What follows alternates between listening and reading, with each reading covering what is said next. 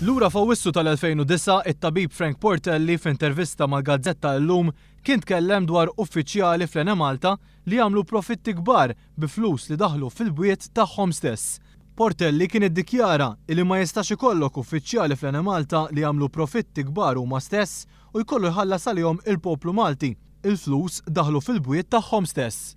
Dikjarazzjoni li kibret iktar fir-rilevanza tagħha wara l-iżviluppi tal-aħħar ġranet dwar l-għoti ta' commissions fuq ix-xiri taż-żejt. One News staqsa lill-Prim Ministru jgħid x'kien għamel dwar dak li qal Frank Portelli iktar minn tliet snin ilu. Gonzi wieġeb li huwa jinvestiga kull każ ta' korruzzjoni. Kena wkoll l-allegazzjonijiet ta' Frank Poltelli fl-2009 illi kien għamel referenza għall-korruzzjoni fl-Enemalta f'dan l-ambitu wkoll. Dakinhar kont investigajt, kont dħalt f'dik il-kwistjoni.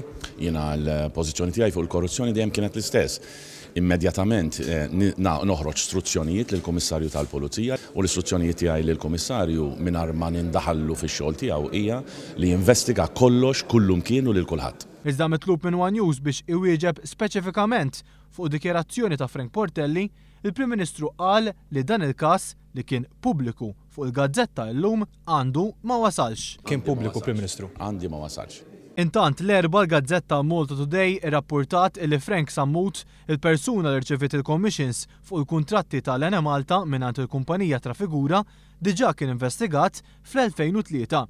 Il-gazzetta Malta Today illum irrappurtat li fl-2003 l-Kummissjoni Permanenti kontra l-Korruzzjoni investigat lil Sammut dwar allegazzjonijiet ta' korruzzjoni iżda din l-investigazzjoni kienet inkonklussiva.